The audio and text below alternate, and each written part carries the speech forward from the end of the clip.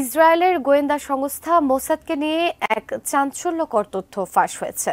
ফিলিস্তিনি ভূখণ্ডে ইসরায়েলের যুদ্ধপরাধ এবং মানবতা বিরোধী অপরাধ নিয়ে দু হাজার একুশ সালে একটি আনুষ্ঠানিক তদন্ত শুরু করে আন্তর্জাতিক অপরাধ আদালত। সে সময় তৎকালীন প্রধান কৌশলীকে এই তদন্ত বাদ দিতে একাধিকবার যোগাযোগ করে মোসাদ। ইসরায়েলের পক্ষে রায় না দিলে হত্যা সেই সঙ্গে পুরো পরিবারকে দুনিয়া থেকে চিরতরে নিঃশেষ করে দেওয়ার হুমকিও দিয়েছিল ইসরায়েলের এই গোয়েন্দা সংস্থাটি। বিস্তারিত শেখ ফরিদের প্রতিবেদনে।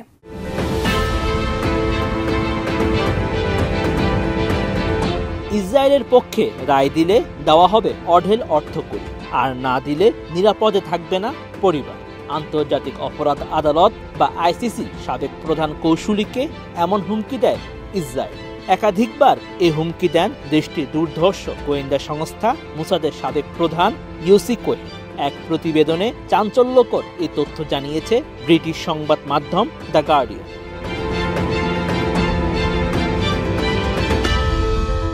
প্রতিবেদনে বলা হয়েছে, ইসরায়েল গাজায় যে যুদ্ধাপরাধ করছে, তা আনুষ্ঠানিক তদন্ত শুরু করার সিদ্ধান্ত নিয়েছিলেন আইসিসির সাবেক প্রধান কৌশলী ফাতাও বেনসুদা এ নিয়ে কয়েক বছর তার সঙ্গে যোগাযোগ করেন ইউসি কোহেন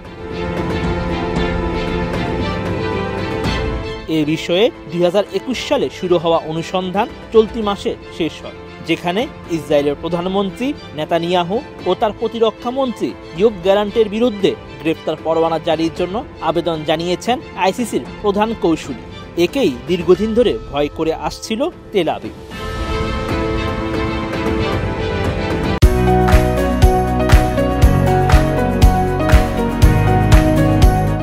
গার্ডিয়ান জানায়, ইউসি কোহেন, মোসাদের পরিচালক থাকাকালে আইসিসি কৌশলীদের বিরুদ্ধে কার্যক্রমে যুক্ত হয়েছিলেন। ইসরায়েলের এক জ্যেষ্ঠ কর্মকর্তা জানায়, দেশের উচ্চ পর্যায় থেকে তার এসব কর্মকাণ্ডের অনুমোদন দেওয়া হয়েছিল। মুসাদের লক্ষ্য ছিল ফাতা ও বেনসুদার সঙ্গে সমঝোতা করা, যেন তেল আবিবের হয়ে কাজ করেন তিনি। এই জন্য নেতানিয়াহুর অনানুষ্ঠানিক বার্তাবাহক হিসেবে ভূমিকা রেখেছিলেন কোহেন।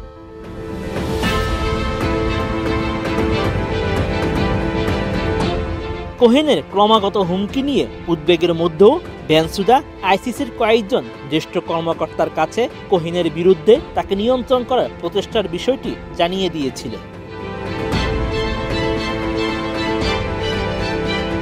আইসিসির কর্মকর্তাদের কাছে দেওয়া ভাষ্য অনুযায়ী কোহেন তাকে বলেছেন, আমাদেরকে সহায়তা করা উচিত আপনার। তাহলে আমরাও আপনার টেক কেয়ার করব। আপনি এমন কিছু করতে চেষ্টা করবেন না যা আপনার ও আপনার পরিবারের নিরাপত্তাকে হুমকিতে ফেলে। পরবর্তীতে মুসাদ ব্যানসুদার পরিবারের সদস্যদের প্রতিও নজর রেখেছিল এবং তার স্বামীর গোপন কথাবার্তার রেকর্ড সংগ্রহ করেছিল। মুসাদের কর্মকর্তারা পরে ওই রেকর্ড নিয়ে ব্যানসুদাকে হেনস্তারও চেষ্টা চালিয়েছিল।